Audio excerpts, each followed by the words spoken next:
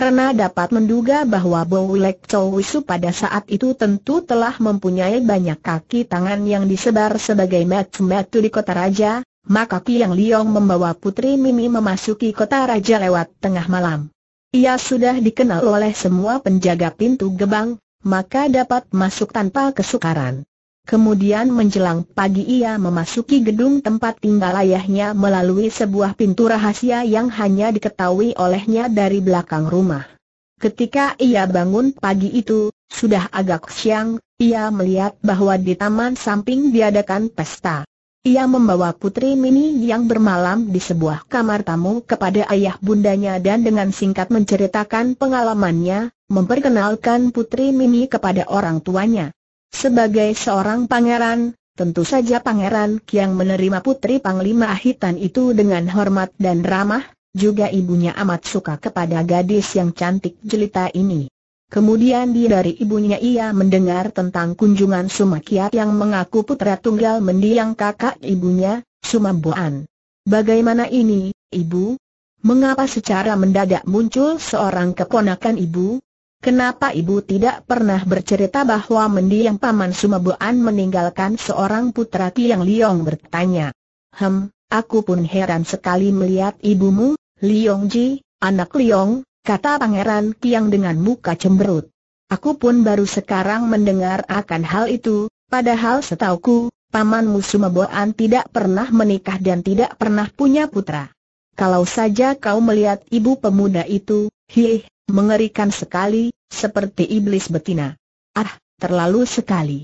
Tidak sepatutnya kau mengeluarkan kata-kata seperti itu Sumaceng, Ibu Kiang Liong memandang suaminya dengan pandang mata penuh teguran.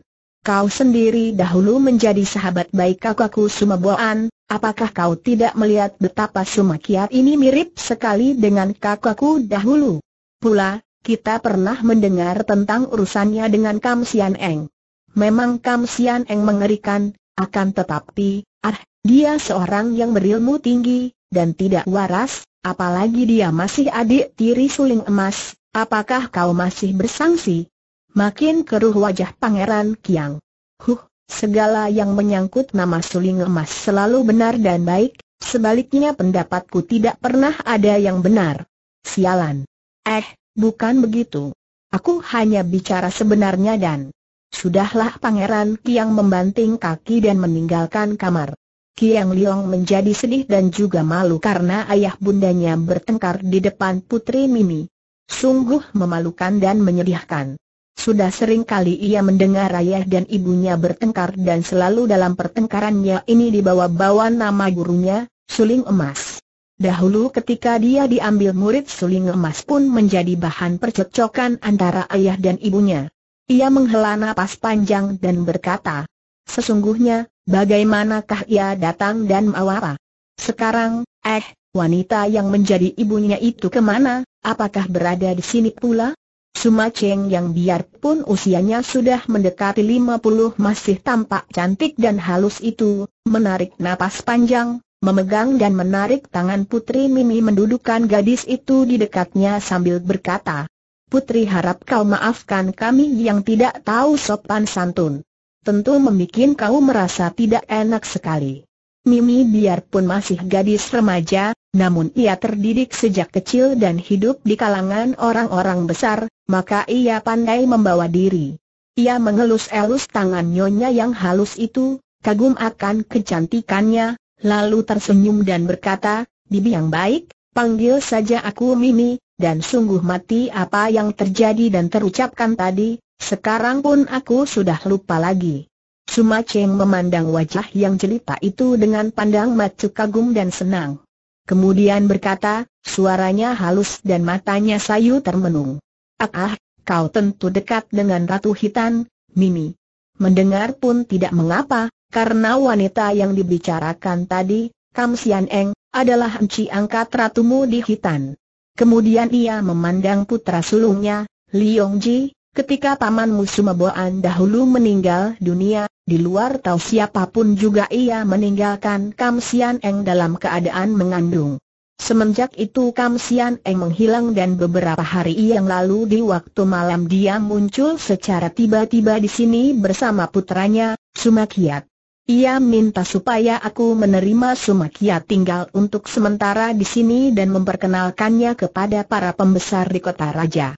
Tentu saja aku tidak dapat menolak permintaannya dan pagi hari ini kami memperkenalkan Sumakiat melalui pesta umum kepada para tamu ayahmu tidak setuju, maka terpaksa Sumakiat sendiri yang menjadi wakil dalam pesta.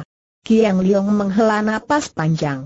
Sudah lama ia tahu bahwa tentu ada rahasia aneh terselip dalam rumah tangga ibunya, dan di dalam rahasia ini, gurunya memegang peran yang tidak kecil. Gurunya sendiri belum pernah mau bertemu dengan ayah ibunya. Dan ibunya amat sayang kepadanya, melebihi sayangnya kepada dua orang adiknya, Kiang San dan Kiang Hoat. Akan tetapi ayahnya jauh lebih sayang kepada dua orang adiknya. Rahasia apakah? Dia tidak tahu dan tidak pernah ibunya mau bicara tentang itu.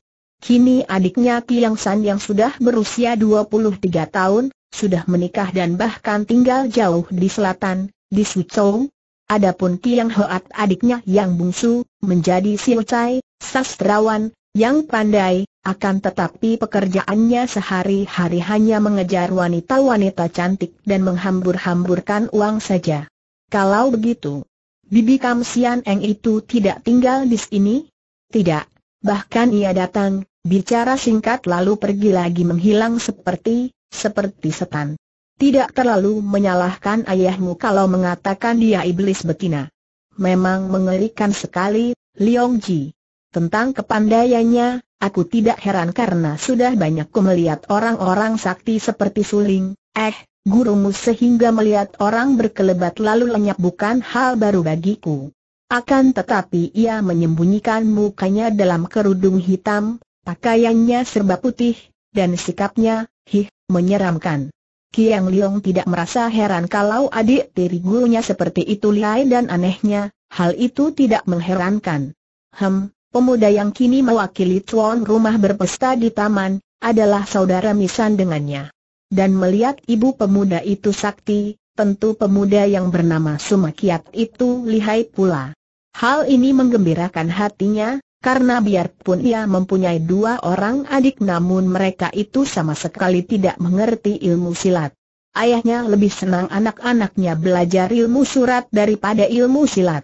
Teringat akan adiknya, ia lalu bertanya, Adik Hang ke mana, ibu?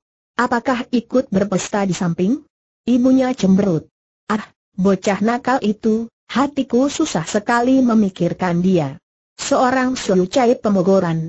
Kini tergila-gila kepada anak pemilik rumah makan di barat kota. Merengek minta dikawinkan dengan anak itu. Anak pemilik restoran. Wah benar-benar anak itu membuat malu orang tua. Kiang Liong tertawa, dan ibunya memandang marah. Kenapa tertawa? Haha, ibu benar aneh. Kalau anak pemilik restoran, mengapa sih? Kan dia juga perempuan tulen. Kalau memang adik Hoat mencintanya. Cinta? Ah, cinta hanya awal bencana dan duka. Aku akan merasa bahagia sekali kalau dia mencinta seorang gadis seperti Mimi ini. Ih, Bibi membikin aku malu saja Putri Mimi menjauhkan diri dan tersenyum jengah. Hahaha. Ibu tidak usah marah-marah, maafkan kalau pendapat saya keliru, Kiang Liong berlutut dan memeluk kedua kaki ibunya dengan sikap manja.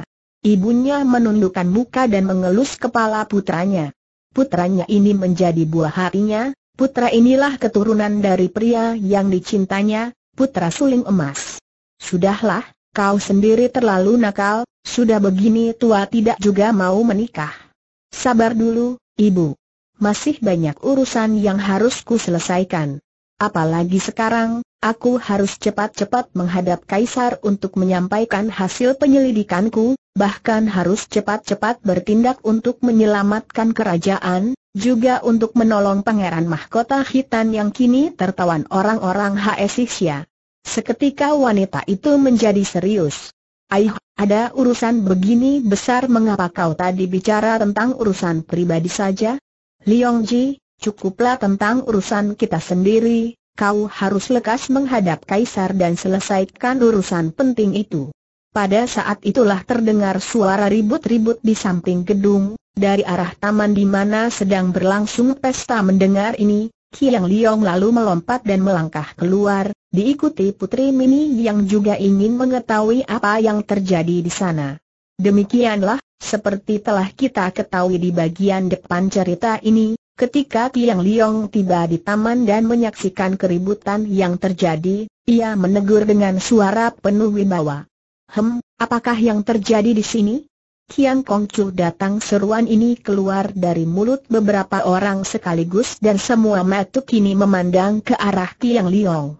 Dengan pandang matanya yang tajam Kiang Liong menyapu wajah orang-orang yang kelihatan menimbulkan keributan. Tertegun hatinya ketika ia mengenal mutiara hitam, juga ia dapat menduga bahwa pengemis muda bertopi itu tentulah ketua baru Hong Sim Kai Pang yang sudah banyak didengarnya. Melihat pemuda itu, teringatlah ia akan Song Goat dan timbul rasa tidak senang di hatinya, apalagi melihat munculnya pengemis muda itu bersama mutiara hitam. Hatinya makin sebal melihat seorang pemuda berpakaian serba mewah yang ia dapat menduga tentulah saudara misannya, akan tetapi ia tidak berkata apa-apa, hanya memandang penuh perhatian. Sumakiat adalah seorang yang wataknya aneh, namun harus diakui bahwa di balik keanehannya, ia memiliki kecerdikan luar biasa. Mendengar seruan orang-orang itu, ia segera menghadapi Kiang Liong dan menarik muka semanis-manisnya, menjura dengan penuh hormat sambil berkata, Kiang Biao Heng, kakak Nisan Kiang, aku adikmu Sumakiat mohon maaf sebesarnya bahwa aku tidak dapat mencegah kekacauan dalam pesta ini yang ditimbulkan oleh jembel busuk ini setelah berkata demikian, ia kembali menggunakan tangan kanan menutupi luka di pundak kirinya. Kiang Liong hanya mengangguk kepada Sumakiat sebagai balasan, lalu bertanya, suaranya tetap tenang. Siapakah yang mengacau dan apa sebabnya? Dengan muka seperti hendak menangis Sumakiat lalu menunjuk Ye Usiangki dan berkata, jembel busuk inilah yang mengacau. Dia berani menghina tamu-tamu kita, tamu wanita lagi. Aku tentu sudah dapat memukul mampus padanya kalau saja sumoiku ini tidak mencampuri dan melukai pundaku. Kiang Liong tertegun dan merasa amat heran, akan tetapi hanya di dalam hatinya saja. Sungguh tak disangka-sangkanya. Mutiara hitam ini sumoi dari Sumakiat. Murid wanita aneh bernama Kam Sian Eng yang menurut ibunya tadi masih adik tiri gurunya sendiri. Jadi kalau begitu mutiara hitam ini bukan orang lain, masih terhitung adik seperguruan dengannya. Ia menjadi bingung dan sejenak kesima tak dapat berkata. Kemudian ia memandang Ye Usiang Ki, Pandang matanya penuh selidik dan ia harus mengaku bahwa pemuda tampan yang berpakaian penuh tambalan ini memiliki wibawa besar dan sinar mata, tajam juga. Pemuda bertopi lebar itu amat tenang, membayangkan keagungan seorang ketua. Ia lalu teringat bahwa ia sebagai tuan rumah, maka ia segera mengangkat kedua tangan ke depan dada memberi hormat. Gerakan ini membuat wajah Ye Usiangki berseri sedikit. Kemudian ia pun balas menghormat. Pesta kecil ini diadakan untuk menyambut kedatangan adik misanku ini, dan siapa pun yang suka boleh datang. Saya rasa para pelayan kami sudah cukup terlatih untuk menyambut setiap orang tamu sebagaimana mestinya. Akan tetapi, belum pernah terjadi ada tamu menghina tamu lain, apalagi tamu-tamu wanita. Sungguh hal yang amat tidak patut dan mengecewakan. Harap saja Sobat Sudi memberi penjelasan. Sebelum Ye Siangki sempat menjawab, lima orang wanita yang tadi dikalahkan Siangki sudah berebut maju dan seorang di antara mereka berkata, mula-mula adalah si bocah iblis ini yang menghina kami, Kiang Kongcu. Tanpa sebab ia membalikan meja dan menyiram kami dengan kuah panas. Kemudian setelah kami dapat menahan diri karena ternyata dia sumoi dari Sumakongcu, Si jembel busuk ini bikin gara-gara dan menyerang kami.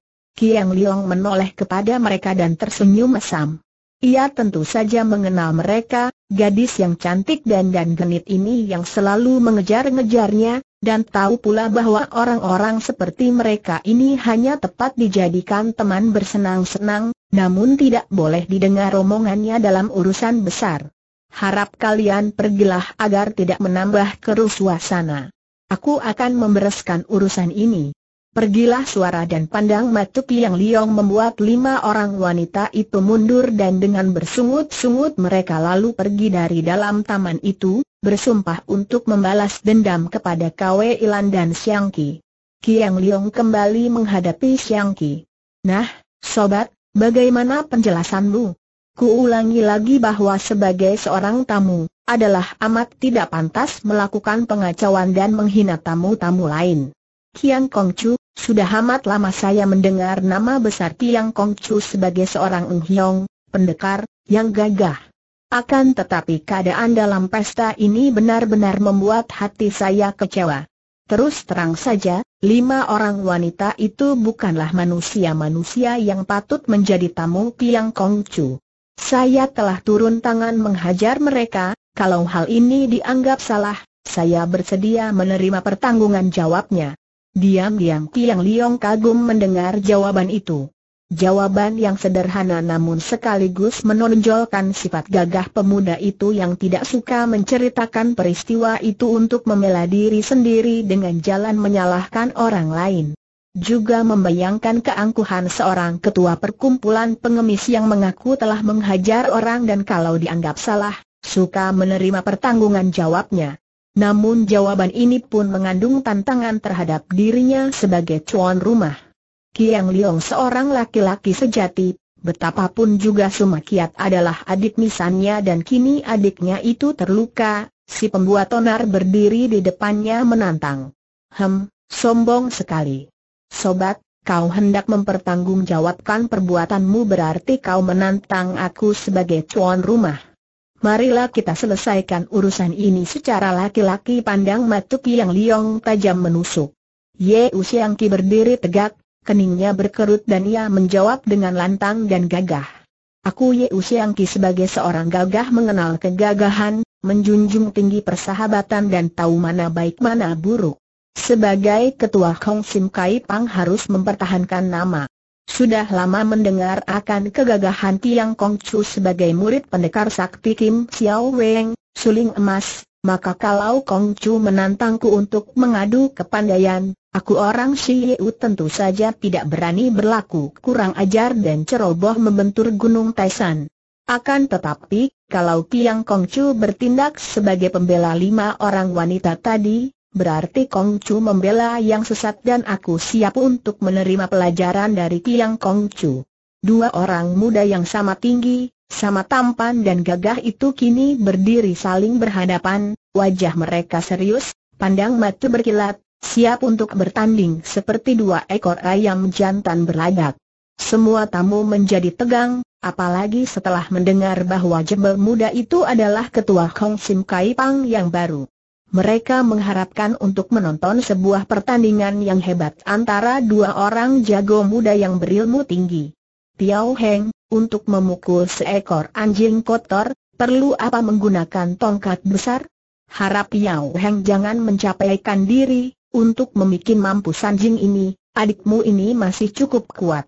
Tadi pun kalau tidak dihalangi Sumoy, Anjing ini sudah kuhajar sampai mampus kata Sumakiat berlagak sambil memegangi pundaknya yang masih mengucurkan darah. Kian Kongcu, maafkan kalau aku mencampuri urusan yang tidak ada sangkut pautnya dengan aku, tiba-tiba Putri Mimi menghampiri Kiang Liong dan menyentuh pundaknya. Sejak tadi putri ini mendengar dan melihat dengan penuh perhatian. Ia amat kagum menyaksikan sikap Ye Usiang Ki, juga amat heran dan kagum melihat Kwe Ilan yang cantik jelita dan gagah. Mendengar ucapan Siang Ki tadi, puteri ini pun kagum dan dapat menghargai kegagahan orang muda yang ia anggap menyamar dalam pakaian jembel itu. Melihat majunya Putri Mimi, terpaksa Tiang Liong mengalihkan perhatiannya dan menoleh. Ia melihat betapa dua pipi yang halus itu kemerahan, metu yang jeli itu bersinar-sinar, dan diam-diam ia menjadi kagum. Ada petunjuk apakah, putri kini semua orang memperhatikan Mimi karena dandannya, kecantikannya, dan suaranya yang asing namun sedap didengar. Kiang Kongcu, mereka yang ribut-ribut semua adalah tamu. Keributan yang terjadi di antara tamu tentu ada sebabnya. Tanpa menyelidiki sebabnya lalu berpihak, amat tidak bijaksana. Sebagai tuan rumah, sebaiknya bersikap adil dan menyelidiki lebih dulu apa sebab keributan, baru mengambil keputusan yang bijaksana dan adil. Menurutkan hati panas melupakan pertimbangan pikiran akan menimbulkan penyesalan yang sudah terlambat. Harap Kiang Kongcu mendahulukan kesadaran. Tidak hanya Kiang Liong dan Ye Xiang Ki yang menjadi heran dan kagum sekali, juga semua orang yang mendengar ini tercengang. Amat sukar diharapkan ucapan seperti itu keluar dari sepasang bibir mungil dari seorang darah remaja seperti Putri Mimi. Kalau semua mata memandang kagum kepada putra Mimi, sebaliknya Kwe Ilan yang sejak tadi sudah amat marah, kini tak dapat menahan kegemasan hatinya. Ia melangkah maju dengan pedang di tangan kanan dan berdiri di depan Ye Xiang Ki membelakangi pemuda ini, menghadapi Tiang Liong dengan sikap dan pandang mata penuh tantangan. Suaranya nyaring tinggi menyambar telinga semua orang, langsung menusuk jantung mereka dengan kata-kata yang tajam. Orang Shikyang, apakah karena menjadi murid suling emas engkau lalu boleh berlagak sombong seperti seorang pangeran dari langit? Kalau segala macam urusan kecil hendak dibereskan secara begini sukar olehmu, apalagi urusan besar. Ketahuilah dan dengar baik-baik. Yang menghina lima orang pelacur tadi adalah aku, Mutiara Hitam. Yang melukai adit misanmu ini adalah aku pula, Mutiara Hitam. Ye Usiangki ini hanya turun tangan karena perempuan-perempuan rendah tadi menghinaku. Akan tetapi yang menjadi biang keladi adalah aku. Kalau kau mau berlagak seperti hakim dan memberi hukuman, hayo hukumlah aku. Mutiara hitam berani berbuat berani bertanggung jawab. Orang Shikyang, aku mendengar bahwa Suling Emas seorang pendekar besar dan patriot, akan tetapi muridnya mengapa mengumpulkan kaum pemberontak? Hayo majulah kau boleh mengandalkan kedudukan dan nama gurumu, akan tetapi jangan kira aku takut. Wajah semua orang menjadi pucat. Mereka yang memang mempunyai persekutuan untuk membantu gerakan bangsa Haesisya menjadi pucat karena khawatir, sebaliknya yang tidak tahu apa-apa, menjadi pucat karena ucapan yang keluar dari mulut gadis ini benar-benar merupakan penghinaan hebat. Kau Ilan, apakah kau sudah menjadi gila? Mengapa kau mengeluarkan ucapan-ucapan tidak karuan Ye Usiangki menegurnya, wajah pemuda ini pun menjadi pucat. Ia maklum bahwa kali ini gadis liar ini telah membuat onar dan kekacauan hebat sekali. Akan tetapi yang ditegur sama sekali tidak mempedulikannya, bahkan sinar matanya seakan-akan mengejek dan berkata, Jangan turut campur. Wajah Kiang Liong sebentar merah sebentar pucat. Hebat penghinaan ini. Kalau diucapkan tidak di tempat umum, masih belum hebat dan mungkin ia dapat menerimanya sambil tersenyum. Akan tetapi ucapan yang amat menghinanya itu diucapkan di depan banyak tamu. Suaranya agak gemetar karena menahan amarah ketika ia bertanya. Mutiara hitam, sungguh lancang mulutmu kalau engkau masih sumoy dari adik misanku Sumakiat berarti kau bukan orang lain, akan tetapi mengapa kau berani bersikap begini kurang ajar? Kau menuduh dan memfitnah yang bukan-bukan. Siapa mengumpulkan kaum pemberontak? Apa maksudmu? Kwe Ilan tersenyum mengejek. Cuping hidungnya yang tipis berkembang kempis. Masih berpura-pura lagi? Apa kau menghendaki aku menelanjangi kedokmu dan menunjuk tokoh pemberontak? Sepasang matuk yang liong mengeluarkan sinar berkilat. Sudah gatal-gatal tangannya untuk menerjang maju, menghajar gadis yang liar ini. Akan tetapi ia masih dapat menekan hatinya dan membentak, boleh. Coba hendak kulihat siapa orangnya. Kau lihat baik-baik. Kwe Ilan yang masih memegang pedang itu menyapu taman dengan pandang matanya kemudian melangkah dan menghampiri meja di mana duduk tiga orang Hwasyu. Sumoy, jangan sumakiat berseru. Akan tetapi dengan langkah lebar, Kwe Ilan sudah tiba di depan meja tiga orang Hwasyo itu dan sekali tendang, meja itu mencelat dan menimpa tiga orang Hwasyo tadi. Brak Hwasyo kurus berjubah kuning itu dengan tangan kirinya menyampok dan meja itu pecah. Sambil menghantam Hwasyo itu meloncat dan berdiri tegak memandang Kwe Ilan. Omi Tohut, apakah nona ini menjadi gila? Kwe Ilan tertawa, menuding dengan pedangnya. Apakah engkau yang bernama Chang Kong Hwasiang? Sumoy, jangan kembali Sumakiat berseru. Chang Kong Ho Siang menjadi beringas pandang matanya. Kakek ini mencium bahaya, akan tetapi ia memandang rendah gadis ini. Ia seorang yang memiliki ilmu silat tinggi, tentu saja tidak takut menghadapi seorang gadis remaja. Pinceng benar Chang Kong Ho Siang, Nona mau apa dan? Belum habis ucapannya, tubuh Kwe Ilan menerjang maju. Dua orang Hwasyo tinggi besar yang duduk di kanan kiri Chang Kong Hwasyo yang adalah murid-murid Hwasyo tua ini, mereka pun pandai ilmu silat dan melihat gadis itu sudah menerjang maju, mereka segera menyambut dari kanan kiri bersenjatakan tongkat. Terang-terang, wuut wuut, aduh. Cepat luar biasa gerakan Kwe Ilan. Dengan pedang Siang Bok Kiam di tangan kanan, ia menangkis dan menempel dua tongkat itu sehingga tak dapat ditarik kembali, kemudian dengan gerakan memutar amat kuat, ia membuat dua batang tongkat ikut berputaran sampai terlepas dari tangan pemegangnya, kemudian secara mendadak tangan Kwe Ilan bergerak, dua kali memukul dan robohlah dua orang Hwasyo itu dengan tulang pundak patah-patah. Chang Kong Hwasyo yang sudah menyambar tongkatnya yang panjang dan berat, namun gerakan Kwe Ilan lebih cepat daripadanya. Tubuh gadis ini seperti lenyap, berubah menjadi bayangan yang didahului sinar pedang kehijauan. Sumoy, tahan kembali terdengar suara Sumakiat yang sudah dekat di belakangnya. Melihat Sumoynya nekat dan hendak membuka rahasia Hwasyo itu, Sumakiat marah sekali dan mengirim pukulan maut dari belakang. Pukulan ini adalah pukulan jarak jauh yang mengandung hawa beracun dan betapapun lihainya Kwe Ilan, karena ia menunjukkan perhatiannya kepada Hosho di depannya, agaknya sukar baginya untuk menghindarkan diri dari pukulan maut suhengnya. Dan kalau pukulan itu sampai mengenai lambungnya, sukar pula nyawanya dapat ditolong. Duk! Sumakiat terhuyung ke belakang, mulutnya menyeringai menahan nyeri, Seluruh lengan kanannya terasa lumpuh dan dadanya sesak. Bukan karena tangkisan Kiang Liong, melainkan karena hawa pukulannya sendiri membalik ketika pukulannya tadi tertahan oleh lengan Kiang Liong. Melihat betapa adik misannya mengirim pukulan dari belakang seganas dan sekeji itu, Kiang Liong sudah cepat bergerak menangkis.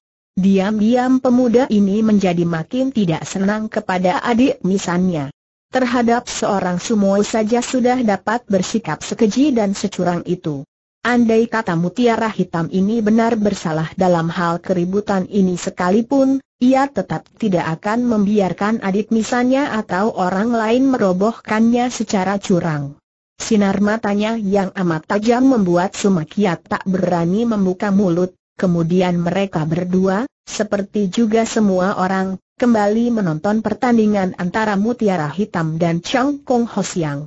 Ye Usiangki juga menyaksikan peristiwa yang terjadi amat cepatnya itu dan ia makin tidak mengerti akan sikap Kiang Liong.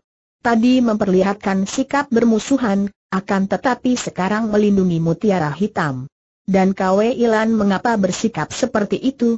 Ia merasa dihadapkan sebuah teka-teki. Benarkah apa yang dituduhkan gadis itu? Bahwa Kiang Liong bersekongkol dengan para pemberontak? Ah, rasanya tidak mungkin. Dan siapakah Hwasyo bernama Chang Kong Hwasiang yang diserang Kwe Ilan? Ia memandang penuh perhatian, siap untuk membantu Kwe Ilan apabila gadis itu terancam bahaya. Hwasyo kurus itu memang lihai sekali. Tongkatnya terbuat daripada baja kebiruan yang kuat dan berat, sedangkan ilmu tongkatnya juga luar biasa kuatnya. Tongkat di tangannya diputar cepat sehingga lenyap bentuknya, berubah menjadi gulungan sinar biru yang menyilaukan mata.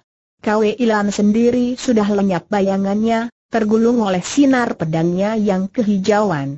Namun pertahanan Hwasyo tua itu benar amat tangguh. Ke mana pun juga sinar pedang Kwe Ilan menyerang, selalu dapat ditangkisnya dengan tongkat sehingga pertandingan itu menjadi makin seru dan sengit. Belasan serangan Hosio itu juga tak pernah berhasil karena gerakan Kwe Ilan amat gesit. Terang.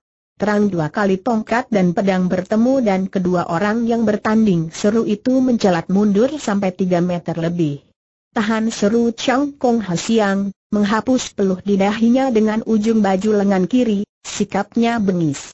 Nona, Pin Cheng adalah tamu Kiang Kongcu dan Pin Cheng cukup menghormat tuan rumah, tidak sudi mengacau di dalam taman ini. Kalau kau tidak memandang macu kepada Kiang Kongcu dan tetap hendak menantang Pin Cheng, bukan di sini tempatnya. Kwe Ilan tersenyum mengejek. Wah, Kau tua bangka gundul benar pandai mencari muka kepada tuan rumah yang menjadi sekutumu. Eh, Chang Kong Hasiang, apa kau kira aku tidak mengerti akan rahasia busukmu? Engkau adalah utusan Bo Lek Chow Wisu pemimpin bangsa HS. Engkau bertugas mengadakan persekutuan busuk dengan kaum pengkhianat dan pemberontak di kota raja. Sebagian besar bangsawan dan pembesar yang hadir di sini Terang-terang tongkat itu menyambar hebat dan Kwe Ilan yang menangkis dua buah serangan itu sampai merasa tergetar pundaknya. Ia menjadi marah dan menggerakkan pedangnya membalas serangan lawan. Kedua orang itu kembali sudah bertanding secara hebat.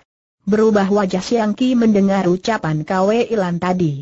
Ah, kiranya gadis itu sudah bertindak dengan dasar yang demikian penting. Betulkah apa yang diucapkan gadis itu? Ia melirik kepada para tokoh pengemis dan mereka bersiap-siap. Sementara itu, para pembesar yang mendengar ucapan Kwe Ilan, menjadi pucat wajahnya dan bangkitlah mereka, kemudian secara tergesa-gesa dan diam-diam mereka bergerak hendak pergi meninggalkan tempat berbahaya ini. Berhenti. Semua tidak boleh meninggalkan tempat ini bentak Kiang Liong yang cepat memberi isyarat kepada penjaga, kemudian membisikkan perintah agar si penjaga cepat pergi mengundang komandan pengawal istana dan pasukannya. Ia sendiri menjaga di pintu dan menonton pertempuran dengan hati tegang. Sejak tadi ia sudah merasa heran melihat betapa Hwasyo tua itu amat lihai serta memiliki ilmu silat yang didasari gerakan kaki Pat Kwa, persis seperti ilmu silat Lek Chow Wisu yang lihai. Kini mendengar ucapan Kwe Ilan, kecurigaannya makin hebat. Tuduhan gadis itu bukan hal yang tidak boleh jadi, mengingat betapa Bo Lek Chow Wisu berniat keras untuk menghubungi para pembesar khianat. Kwe Ilan maklum bahwa ia telah membongkar rahasia besar dan tentu saja Hwasyo ini akan berusaha keras untuk membunuhnya. Bahkan mungkin kaki tangan Hwasyo ini termasuk suhengnya akan mencelakakannya. Akan tetapi hatinya agak lega melihat betapa tadi pukulan suhengnya digagalkan oleh Tiang Liong. Kalau sampai terjadi pertempuran besar, yang ia khawatirkan hanya Tiang Liong yang ia tahu memiliki ilmu kepandaian yang jauh lebih tinggi daripadanya. Maka melihat sikap Tiang Liong tadi, hatinya lega, pula dugaannya bahwa Tiang Liong ikut pula berkhianat. Kini menipis. Ia harus dapat menghalau Hwasyo ini lebih dulu, pikirnya. Akan tetapi tidaklah mudah mengalahkan Hwasyo ini yang sesungguhnya adalah murid kepala Lek Chow Wisu sendiri. Kwe Ilan menjadi penasaran. Pertahanan Hwasyo itu benar amat kuat, sukar ditembusi pedangnya. Ia harus menggunakan akal. Dalam satu dua detik saja ia sudah mendapatkan akal ini. Kalau lawannya yang merupakan seorang berilmu dan sudah memiliki pengalaman matang dalam pertandingan-pertandingan itu dibiarkan terus mempertahankan diri agaknya dalam waktu selama seratus jurus belum tentu ia akan bisa mendapatkan kemenangan. Jalan satu-satunya hanya memancing agar kakek itu menyerang, karena pertahanan seseorang sudah pasti akan menjadi lebih lemah jika dipergunakan untuk menyerang. Artinya setiap serangan membuka lowongan atau kelemahan dalam pertahanan. Tiba-tiba Kwe Ilan menusukkan pedangnya ke arah dada lawan. Sengaja ia membuat gerakannya itu agak miring dengan kedudukan kaki yang tidak cukup kuat. Tongkat lawan menangkis dan Kwe Ilan berseru keras dan kaget, pedangnya terlepas dari pegangan. Ye Usiangki mengeluarkan seruan kaget pula, bahkan Sumakiat juga mengeluarkan seruan, akan tetapi seruan girang. Ia maklum bahwa betapapun lihainya, Chang Kong Ho yang akhirnya tidak akan dapat menandingi kehebatan sumoinya dan tentu akan roboh. Kini melihat berubahnya jalannya pertandingan, diam-diam ia merasa girang. Ia mencinta sumoinya, akan tetapi kalau semuanya menghalang jalan menuju tercapainya cita-citanya, ia tidak segan-segan bergembira melihat semuanya terancam bahaya maut. Hanya Tiang Liong yang tetap tenang, berdiri tegak matanya tak pernah berkedip memandang jalannya pertandingan. Pemuda ini sudah terlalu hebat digembleng oleh suling emas untuk tidak melihat dasar gerakan Kwe Ilan itu. Akan tetapi Chang Kong Ho Siang yang melihat pedang lawannya terlepas, tidak memikirkan lagi kemungkinan lain. Dalam detik itu, kemenangan sudah terbayang olehnya. Gadis ini harus dibunuh karena terlalu berbahaya. Tongkatnya berkelebat dalam serangannya, menghantam ke arah kepala Kwe Ilan. Gadis ini miringkan tubuh menundukkan kepala, sengaja membiarkan ujung tongkat menyerempet pundaknya. Di dalam hatinya, Kiang Liong tertegun. Memang siasat ini hebat, akan tetapi terlalu berbahaya. Gadis ini bukan main, memiliki ketabahan yang sukar dicari tandingnya. Meleset sedikit saja perhitungannya, terlambat seperempat detik saja gerakannya, kepalanya akan hancur dipukul tongkat. Namun selain tabah Kwe Ilan juga tenang dan cerdik, perhitungannya takkan meleset. Pada saat ia merasa pundak kanannya nyeri diserempet ujung tongkat, tangan kirinya sudah menghantam ke depan. Itulah pukulan Siang Tok Chiang, tangan racun wangi. Awal ugah pukulan itu agaknya tidak terlalu keras, akan tetapi tubuh Chang Kong Ho yang terpelanting ke belakang, dan kakek ini bergulingan dan menggeliat-geliat kesakitan karena seluruh isi perutnya seperti ditusuk-tusuk. Sumoy, kau terlalu sumakiat lari menghampiri Kwe Ilan yang sudah siap sedia melawan suhengnya, akan tetapi pemuda itu sama sekali tidak menyerangnya, melainkan berlutut di dekat tubuh Chang Kong Ho Siang yang masih menggeliat-geliat. Lo Suhu, bagian mana yang terasa sakit? Coba ku periksanya pemuda ini meraba dada, meraba perut dan pendekta tua itu tidak merintih lagi, bahkan tidak bergerak lagi. Piao Te, adik Misan, minggirlah Tiang Liong membentak Sumakiat. Pemuda ini hendak memeriksa dan memaksa Hwasyo itu membuka rahasia, akan tetapi alangkah kagetnya ketika ia memeriksa, Chang Kong Hwasyo yang ternyata sudah tak bernyawa lagi. Ia bangkit berdiri, dan menatap wajah adit misannya dengan pandang mata, tajam menusuk akan tetapi Sumakiat hanya menyeringai saja. Pada saat itu terdengar hiruk pikuk di luar taman dan masuklah seorang komandan berpakaian gagah memimpin sepasukan pengawal terdiri dari tiga losin orang. Komandan itu segera melangkah lebar menghampiri Tiang Liong, sedangkan para anak buahnya dengan rapi menjaga di pintu keluar. Hem, tidak ada perlunya kita berada di sini lebih lama lagi. Xiang Qi, mari kita pergi kata Kwe Ilan yang sudah menyimpan pedangnya. Ye Usiang Ki mengangguk. Memang ia ingin sekali bicara dengan Kwe Ilan mengenai tuduhan yang dilontarkan oleh gadis tadi. Para tokoh Kaipang yang berada di sini ikut bergerak. Komandan pengawal menghadang dan memandang kepada Tiang Liong dengan pandang mata bertanya, menanti perintah. Akan tetapi Tiang Liong berkata halus, biarkan mereka pergi. Ye Usiang Ki merasa sungkan juga mendengar ucapan Tiang Liong ini. Ia merangkap kedua tangan di depan dada lalu menjura kepada Tiang Liong sambil berkata, Kiang Kongcu, maafkan kelakuan saya tadi. Hem, tidak ada yang perlu dimaafkan. Kalau kau ingin minta maaf, pergilah ke lereng Bukit Chin San, di kuil Pek Kliansi. Di sana ada seorang calon Niko yang akan mempertimbangkan apakah kau dapat dimaafkan atau tidak. Setelah berkata demikian, Kiang Liong membalikan tubuh, tidak mempedulikan lagi kepada ketua Kong Sim Kai Pang ini. Ye Usiang Ki tercengang, tidak mengerti, akan tetapi karena Kiang Liong sudah membelakanginya dan bercakap-cakap dengan komandan pengawal, dan karena Kwe Ilan sudah menarik tangannya, Terpaksa ia mengikuti gadis itu keluar dari taman bersama para tokoh pengemis. Kwe Ilan, apakah artinya semua ucapanmu tentang persekutuan? SSST, diam dan mari kita keluar kota raja. Ada pekerjaan penting untuk kita. Kita harus pergi menolong pangeran mahkota hitam yang tertawan oleh Bowlek Chosu. Apa? Bagaimana? Di mana? SSTT, mari ikut saja, nanti ku jelaskan. Mengapa kau tergesa-gesa seperti orang ketakutan? Hem, kau benar cerewet. Aku memang takut. Takut siapa? Bodoh, guruku tentu. Kalau dia datang aku takkan terlepas dari kematian dan pangeran mahkota hitam takkan tertolong. Ah, gurumu marah karena kau membunuh Hwasyo itu? Kwe Ilan menghentikan larinya memandang pemuda itu dan membanting kaki. Xiang Qi, kau benar cerewet. Dan bodoh. Hwasyo itu dibunuh Su Heng, apa kau tidak tahu? Su Heng bersekutu dengan Hwasyo itu dan para pembesar Song yang hianat.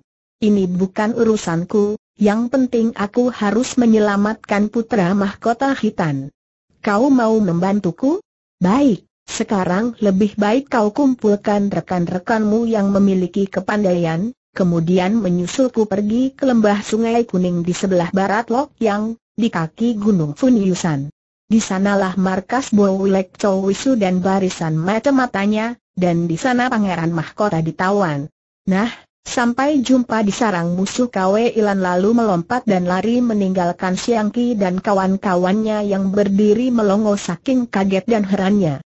Mendengar penuturan Kwe Ilan ini, ia teringat akan pesan Kiang Kongcu dan tiba-tiba wajahnya berubah.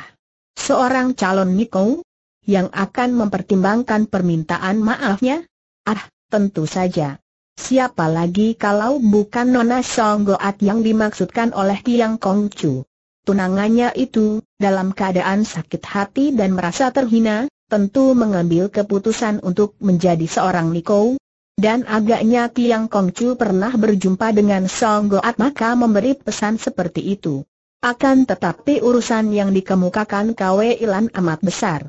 Biarpun ia tidak peduli tentang nasib Pangeran Hitan, akan tetapi kalau Kwe Ilan seorang diri menyerbu ke sana, Hal ini amat berbahaya bagi gadis itu. Dia harus menyusul dan membawa pasukan pengemis yang cukup kuat. Mari kumpulkan teman-teman katanya dan berangkatlah mereka mempersiapkan pasukan pengemis yang kuat. Mereka mengumpulkan teman-teman ini dari kota Raja dan Lokyang. Setelah lengkap, Xiang Qi memimpin 30 orang tokoh Kaipang, dengan berpencar agar tidak menarik perhatian, berangkat menuju ke tempat yang ditunjuk oleh Kwe Ilan. Semua tamu yang hadir dalam pesta penyambutan Sumakiat digiring oleh pasukan pengawal istana. Setelah diperiksa, ditanya seorang demi seorang, mereka itu tidak ada yang mengaku kenal dengan Chang Kong Hosiang. Bahkan semua menyatakan tidak mengenal Sumakiat, dan hanya datang hadir karena mengingat Pangeran Kiang dan terutama sekali mengingat nama Kiang Kongcu. Diam-diam Kiang Liong berunding dengan pembesar yang berwenang, lalu membebaskan mereka semua, akan tetapi semenjak saat itu, gerak-gerik semua pembesar ini selalu diawasi. Kemudian Kiang Liong menghadap Kaisar dan menceritakan pengalamannya dalam penyelidikan gerakan orang-orang Haesisya. Kaisar menerima laporan ini dengan sabar, kemudian menjatuhkan perintah kepada semua panglimanya agar berusaha keras mencegah pecahnya perang. Betapapun kecilnya, perang tetap merupakan malapetaka bagi rakyat. Oleh karena itu, sedapat mungkin harus dihindarkan. Hubungilah bangsa Haesisya dan selidiki apa kehendak mereka. Kalau hanya harta benda yang mereka kehendaki, kami lebih suka mengorbankan sebagian harta benda daripada mendatangkan malapetaka bagi rakyat. Perintah kaisar inilah yang kelak mencelakakan kerajaan sang sendiri. Karena perintah semacam ini yang sering kali dikeluarkan oleh kaisar yang suka damai dan anti perang ini, kedudukan kerajaan sang menjadi makin lemah sehingga akhirnya tidak kuat bertahan ketika malapetaka tiba. Perintah ini pula yang membuat bangsa Haesisia yang tidak berapa besar itu menjadi makin kuat dan kelak merupakan ancaman yang sama besarnya dengan bangsa Hitan. Kiang Liong kecewa sekali mendengar perintah ini. namun tentu saja tak seorang di antara para panglima berani membangkang. Dengan hati gelisah Kiang Liong kembali ke rumah orang tuanya. Bagaimana caranya untuk menolong pangeran mahkota hitan kalau kaisar melarang dipergunakannya kekerasan terhadap orang-orang Haesisia? Dan di manakah adanya pangeran hitan yang tertawan itu? Ia teringat akan peristiwa di dalam taman. Melihat betapa Sumakiat diam-diam membunuh Chang Kong Ho Siang dan melihat pula sikap Sumakiat ketika Mutiara Hitam menghamburkan dakwaan-dakwaan yang hebat itu. Malam itu ia mengajak Sumakiat ke kamarnya, mengunci pintu kamarnya dan dengan wajah bengis ia berkata, Nah, sekarang kau harus menceritakan semua rahasiamu, Tiao Wote. Sumakiat memandang kakak nisan ini, menyeringai dan duduk di atas kursi. Tanpa berkata sesuatu ia menuangkan arak yang tersedia di meja ke dalam sebuah cawan dan minum dengan mata mengerling penuh ejekan. Setelah cawan itu kering, ia meletakkannya di atas meja, perlahan-lahan dan tidak tergesa-gesa, barulah ia menoleh dan menjawab. Tiao Heng, aku tidak punya rahasia apa-apa. Sumakiat. Orang lain boleh kau bohongi akan tetapi aku tidak. Kau kira aku tidak tahu akan kebingunganmu ketika kau melihat mutiara hitam hendak membuka rahasia di dalam taman? Dan, kau membunuh Chang Kong Hasiang, tentu hendak menutup mulutnya, bukan? Hahaha, Tiao Heng. Kau benar-benar tidak adil. Mengapa kau membela Sumoy, membela pengemis itu dan orang-orang lain, sebaliknya menekan adik Misan sendiri? Sungguh Hengka seorang kakak yang tak patut dibanggakan. Sekarang kau malah membentak dan menuduh yang bukan-bukan kepadaku. Hem, agaknya kau tidak suka dan iri karena aku datang di sini, ya? Kau tidak suka melihat kenyataan bahwa aku putra pamanmu. Akan kulihat apa kata bibi kalau ku ceritakan hal ini kepadanya Sumakiat bangkit dari tempat duduknya, hendak pergi ke pintu. Akan tetapi dengan sebuah loncatan kilat, tubuh Kiang Liong berkelebat dan sudah berada di ambang pintu. Wajahnya bengis, mulutnya tersenyum dingin, menyembunyikan hati yang panas oleh marah. Suaranya mendesis perlahan, Sumakiat, jangan kau mempermainkan aku. Engkau telah membunuh Chang Kong Ho Siang yang agaknya benar seorang penghubung dan pembantu Bo Lek Chow Su. Engkau bersekongkol dengan pemberontak dan musuh, mempergunakan tempat kami, mengotorkan dan mencemarkan nama baik keluarga kami. Hayo ceritakan, sampai berapa jauhnya kau melakukan kesesatan ini? Tahukah kau tentang penawanan putra mahkota hitam? Jawab sejujurnya kalau kau tidak ingin aku menggunakan kekerasan terhadapmu. Tiba-tiba berubah sikap Sumakiat. Ia berdiri tegak, bertolak pinggang dan mukanya membayangkan kemarahan yang membuat wajah yang tampan itu menjadi ganas.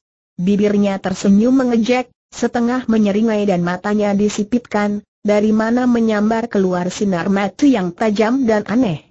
Kemudian ia tertawa, kepalanya didongakkan dan perutnya bergerak-gerak, suara ketawa yang panjang bergelak, akan tetapi yang tersentak berhenti secara tiba-tiba dan wajahnya sama sekali tidak ikut tertawa. Ketawa iblis, atau ketawanya seorang yang tidak waras otaknya. Kiang Liong, engkau terlalu. Apa kau kira aku ini orang bawahanmu sehingga boleh kau perintah begitu saja? Kau lupa agaknya bahwa aku ini seorang tamu, bahwa aku ini keponakan ibumu. Semua orang boleh jadi gentar terhadap namamu, akan tetapi aku, Sumakiat, selama hidupku belum pernah takut kepada siapa pun juga. Kau tidak perlu menggertak dengan omong kosong, boleh gunakan kekerasan, aku tidak takut. Setelah berkata demikian, dengan membusungkan dada Sumakiat melenggang terus hendak keluar, tidak mempedulikan Kiang Liong yang menghadang di pintu.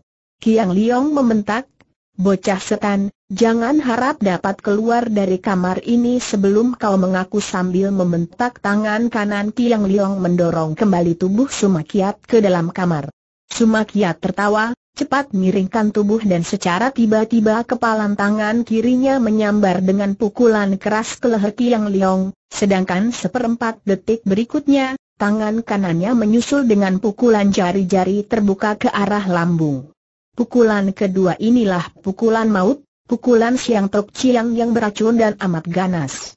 Plak-plak tangkisan Kiang Liong cepat sekali dan bertenaga besar karena pemuda ini sudah tahu akan kelihayan adik misannya sehingga melihat pukulan maut itu ia menjadi marah dan menangkis dengan pengerahan sinkang disalurkan ke tangannya. Tubuh Sumakia terlempar dan menabrak dinding sedangkan dengan kaget Kiang Liong merasa betapa lengannya yang menangkis menjadi panas sekali. Hanya beberapa detik saja Sumakia menjadi nanar karena terbanting ke dinding. Ia sudah meloncat bangun lagi, mukanya merah sekali, mulutnya tersenyum menyeringai. Tiao Heng, kau benar-benar mengajak berkelahi? Huh, bukan aku yang mengajak berkelahi, melainkan engkau yang memancing keributan.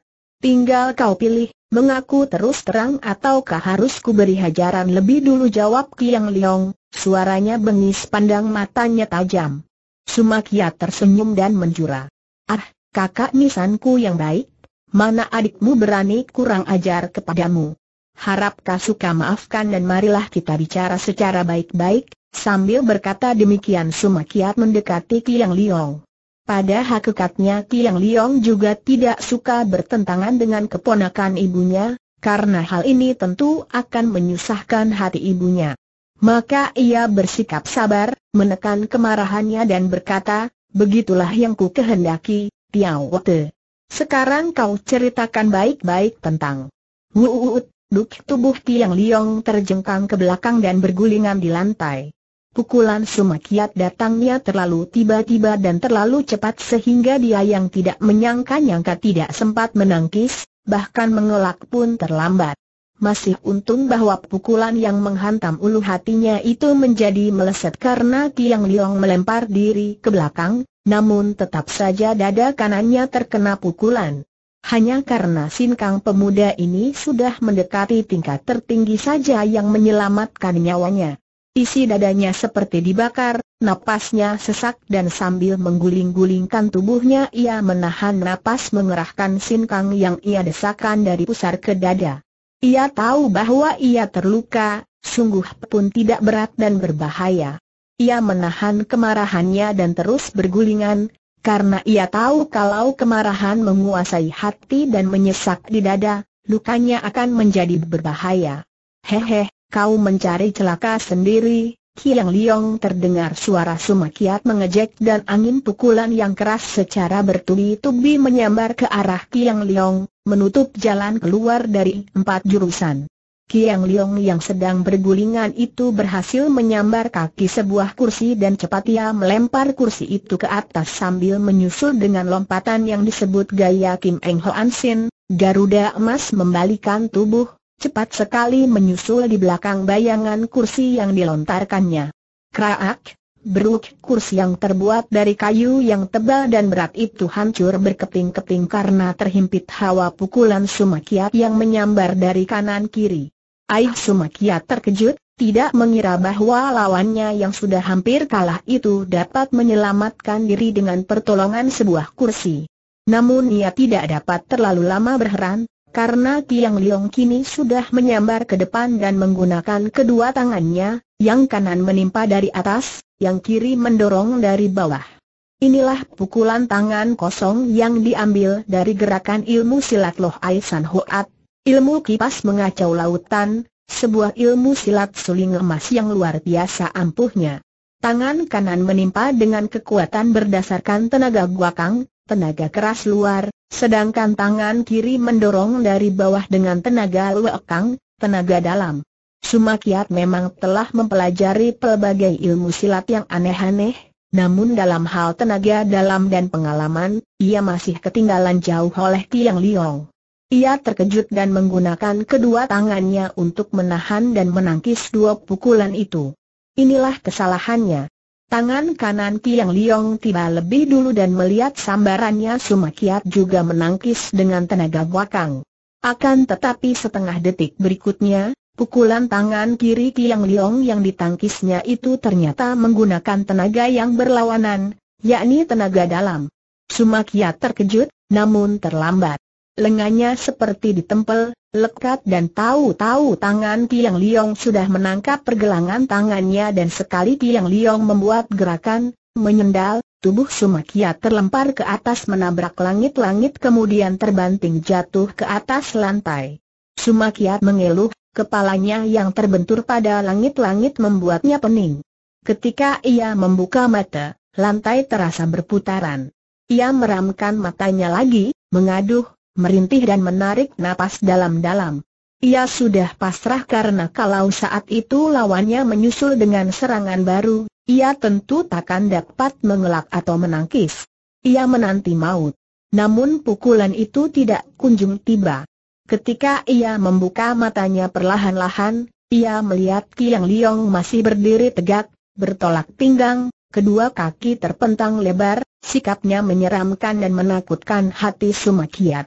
Tiba-tiba Sumakiat menangis menangis sesenggukan, terisak-isak dan bergulingan di atas lantai, seperti seorang anak kecil menangis rewel. Uhu uhu uhu. Piao Heng, kau benar kejam sekali, uhu uhu. Kalau memang kau tega kepada adik Misan, kau bunuhlah aku sekarang juga, uhu uhu. Kiang Liong mengerutkan keningnya. Ia teringat akan ucapan ayah bundanya tentang Kam Sian Eng, ibu pemuda ini. Menurut penuturan ibunya, Mungkin sekali Kam Sian Eng itu seorang wanita yang selain aneh, juga tidak waras otaknya.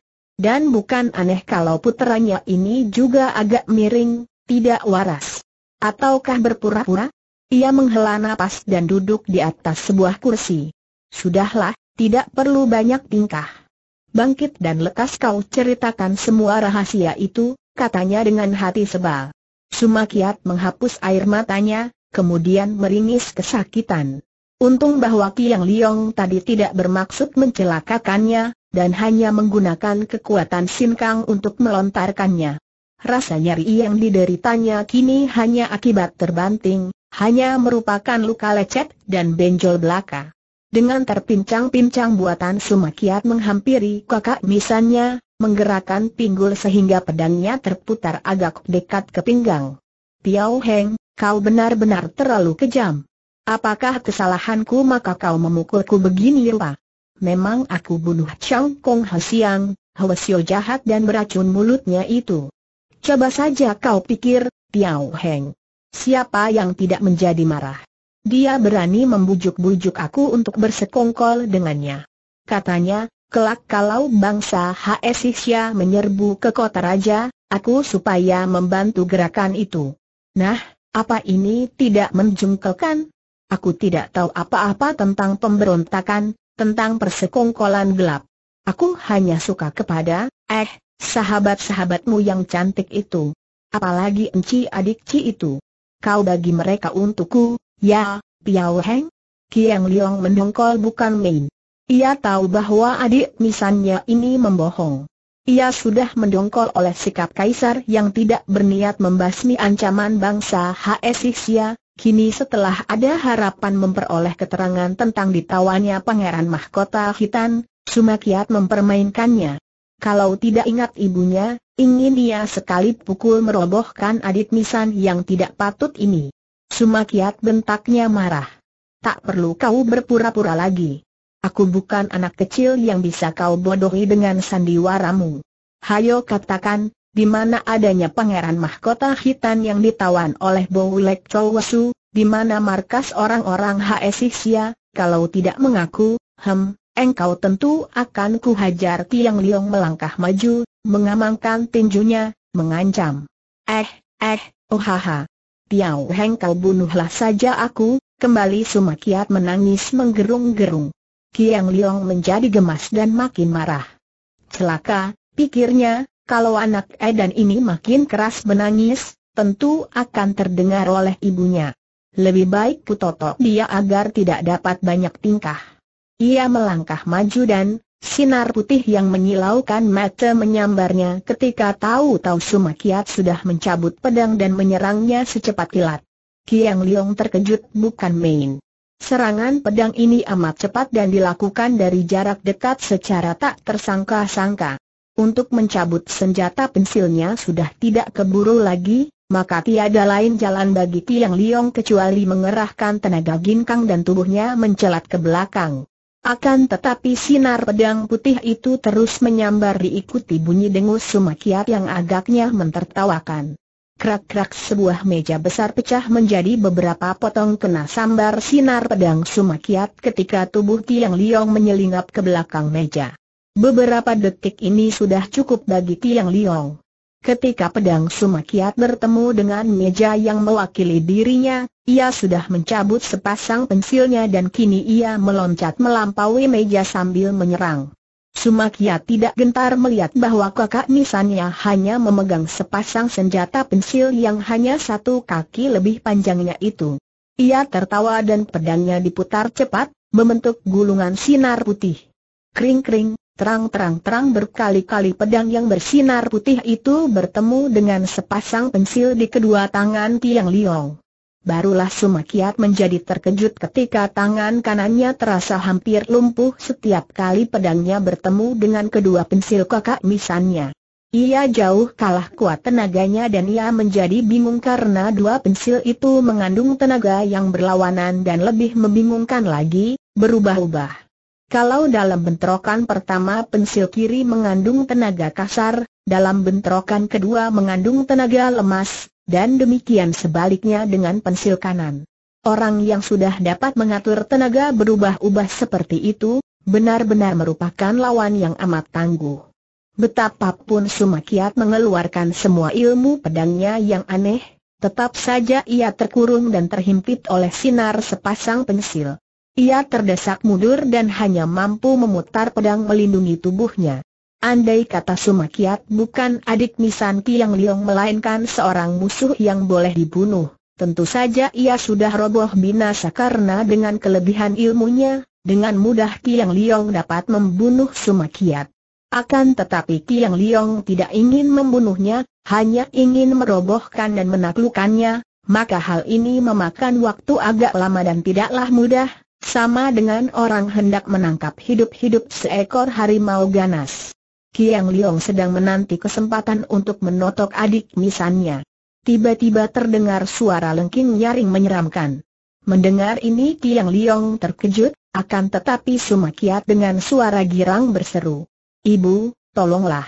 Angin yang keras menyambar masuk dari jendela dan, lampu dinding dalam kamar itu seketika menjadi padam. Kiang Liong kaget, tidak melanjutkan serangannya dan meloncat mundur. Akan tetapi dari depan, pedang Sumakiat menerjangnya dengan hebat. Kagetlah Kiang Liong dan ia menangkis. Pertemuan pedang dengan pensil di tangannya menciptakan bunga api yang tampak jelas di dalam kamar gelap ini. Kembali Sumakiat menyerangnya. Kiang Liong menangkis kembali hanya mengandalkan ketajaman pendengarannya. Ia sama sekali tidak menduga bahwa lawannya jauh lebih tajam pandangan matanya di dalam gelap daripada dia. Sumakiat semenjak kecil hidup di dalam istana bawah tanah, sudah biasa dengan kegelapan. Matanya amat tajam di dalam gelap, inilah sebabnya mengapa setelah kamar menjadi gelap ia dapat menyerang bertubi-tubi sehingga mengejutkan Tiang Liong karena tidak ingin salah tangan dalam gelap itu sehingga ia membunuh atau mendatangkan luka berat pada adik misannya. Pada saat pedang Sumakiat menyambar dari depan, ia cepat menangkap pedang itu dengan sepasang pensilnya dengan cara menjepit pedang itu dengan dua pensil yang disilangkan. Sumakiat terengah-engah berusaha menarik kembali pedangnya, namun sia-sia belaka. Pedang itu seperti lekat pada sepasang pensil.